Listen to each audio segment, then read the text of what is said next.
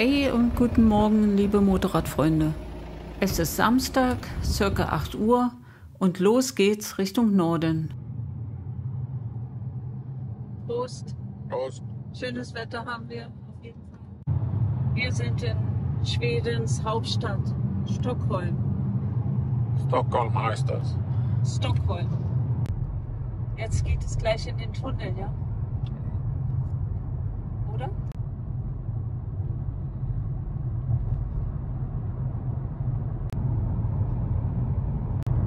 Das ist beeindruckend, ja.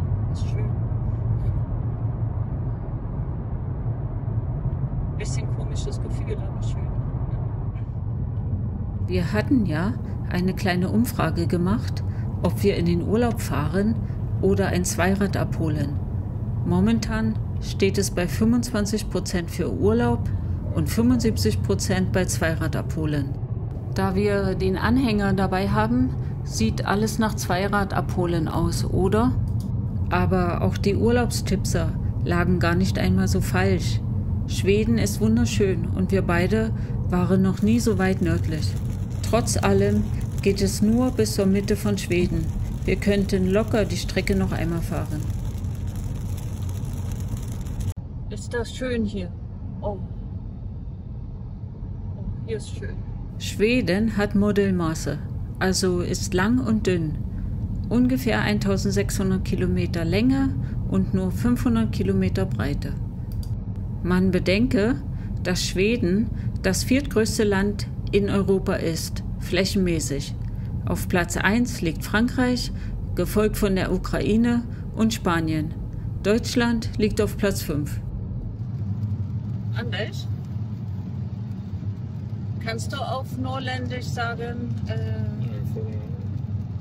das Wetter ist schön und wir sind gleich da?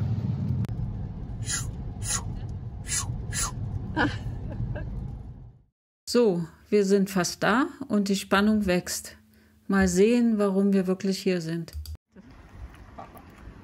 Ja.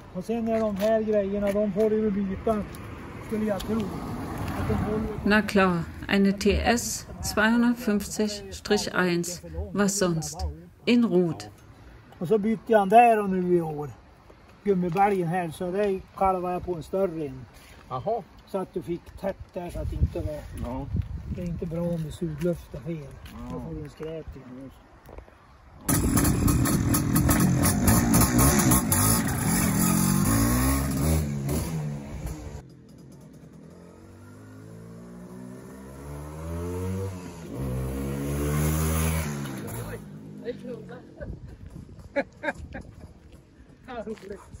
Anders testet und man sieht ihm den Spaß, glaube ich, wohl an.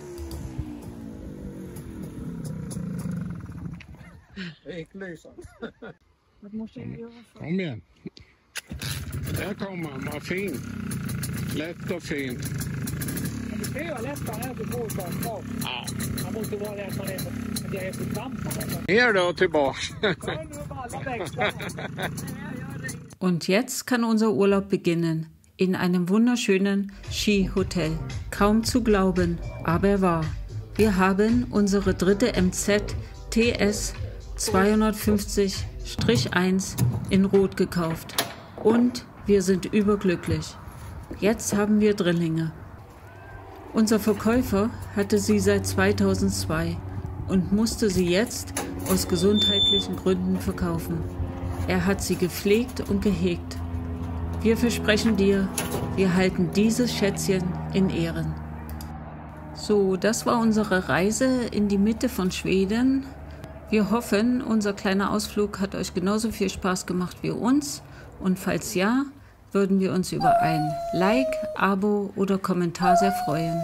Und bis zum nächsten Mal. Bye bye.